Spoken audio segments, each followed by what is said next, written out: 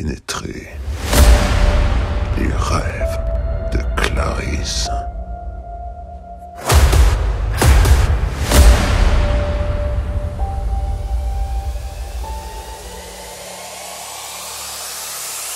Vivez vos pires